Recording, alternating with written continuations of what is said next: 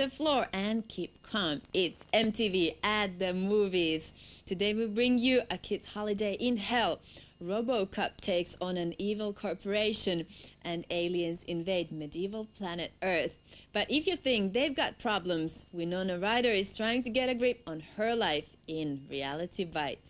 You out of your mind? Oh my god, he just got fired from the newsstand. He needs a place to stay till he can find a new job and get his own place. Vicky, that's the American dream of the 90s that could take years. Look at it like a built-in security system. We'll have a man around Okay, the house. we'll have a uh, hall monitor. That's what we'll have. I don't even know if this is allowed in the building. It's not like Mr. Roper's gonna burst in. I'll just stay on the couch. Vicky, he, he will turn this place into a den of slack. What the hell is your problem?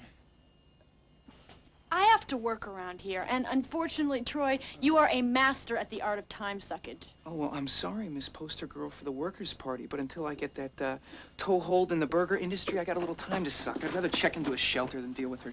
Okay, I know how much you'd love to mainline your misery here, but you don't have to. I mean, I can get you a job interview at my dad's plant. What is that, like part of my lease agreement? It's either that or a credit check. It's cool, Troy. You can stay. Welcome to the Maxi Pad. After several cool movies like Slacker and Singles, comes Reality Bites, a movie for people who can't be bothered to go to the cinema. It stars Winona Ryder as a girl fresh out of college, struggling to choose between two men who stand for security and her heart's desire. Who do you think will win? Hi. Hi. What happened to your normal clothes? Wow, Lelaina, look at you. You look.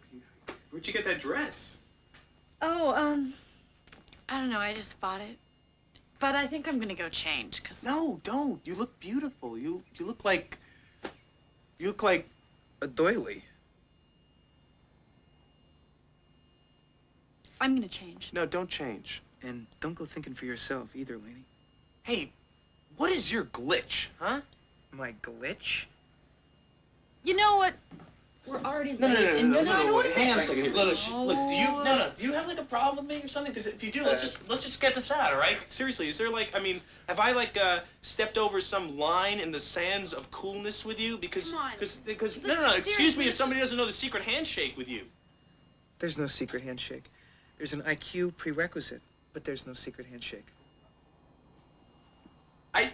This is. Come on. You This know, is really this guy, you're, you you got like this whole like thing with the world, don't you, This huh? is really Boy, no, no, that's okay? great. This That's really, really- wonderful. But guess what? I'm a human being, okay? We're human beings, people, okay? You know, we're not like uh, uh, intelligence, you know, quotations or whatever. Just ignore him. No, Done. come on, let's go. You don't need this. You don't know what she needs. I think I know what she needs in a way that you never will. Ethan Hawke and director Ben Stiller play the other corners of the love triangle in Reality Bites.